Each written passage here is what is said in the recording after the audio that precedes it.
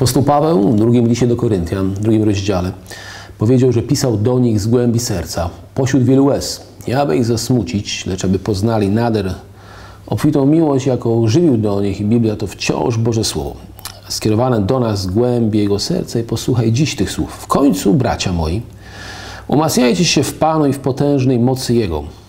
Przywdziejcie całą zbroję Bożą, abyście mogli ostać się przed zasadzkami diabelskimi, gdyż bój toczymy nie z krwią i z ciałem, lecz z nadziemskimi władzami, ze zwierzchnościami, z władcami tego świata ciemności, ze złymi duchami w okręgach niebieskich.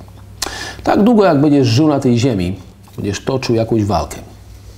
Walka ta jednak nie jest ta z mężem, żoną, byłym, z teściami, pracodawcą czy, czy z kimś z kościoła. Tak technicznie na co dzień jest to, jak czytamy, walska, walka z diabelskimi zasadzkami, czyli jego mapactwami, jego kłamstwami, jego zwiedzeniem, a dosłownie z metodami działania.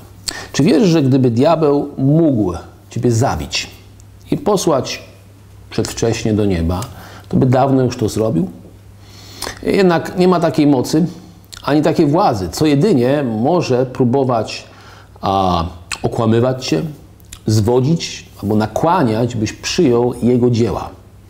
Słowo mówi, że jesteśmy współpracownikami Bożymi, co znaczy, że Bóg szuka współpracowników pośród nas, aby móc wypełnić swoją wolę na ziemi. I pomyśl, że diabeł również zawsze szuka jakiejś współpracy ze strony człowieka, aby mógł czynić swoją wolę na ziemi. Więc, jak czytaliśmy, nie dawaj mu żadnego miejsca ani w swojej głowie, ani w swoich myślach, ani w swoich wyobrażeniach, ani w swoich słowach, ani w swoim życiu. I chcę, abyś o tym pamiętał w tym tygodniu.